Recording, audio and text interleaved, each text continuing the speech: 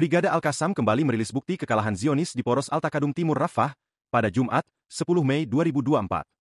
Dalam video, tampak sejumlah pejuang Al-Qassam menargetkan pasukan perang Israel yang tengah beroperasi di wilayah tersebut. Saat lengah, pasukan perang IDF itu dihujani dengan peledak Brigade Al-Qassam. Hal itu terjadi di sejumlah posisi Zionis di poros Al-Takadum. Di antaranya di sejumlah gedung persembunyian, Brigade Al-Qassam berhasil melenyapkan tentara IDF. Selain itu, sejumlah tank canggih yang dikerahkan ke lokasi tersebut juga hangus dan hancur berkeping-keping imbas serangan Al-Qassam.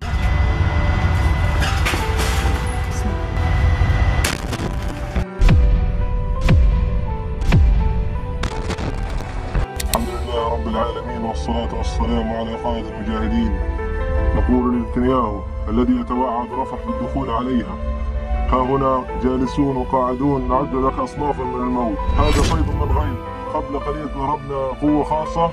والآن سنضرب من كفاءه أربعة بإذن الله.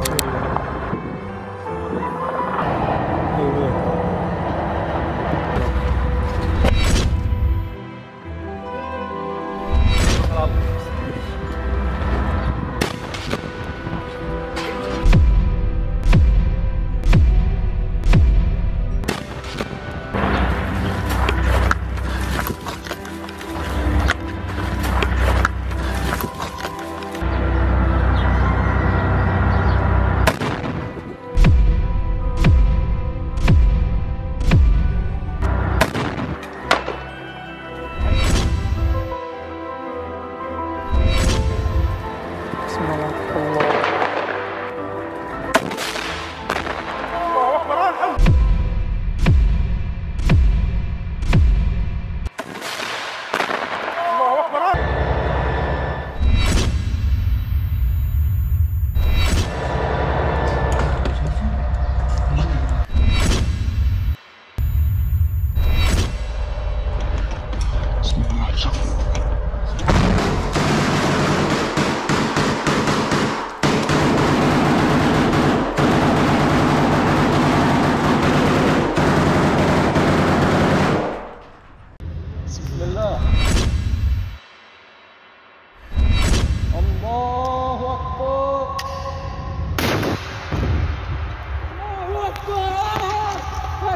Download Tribun X sekarang.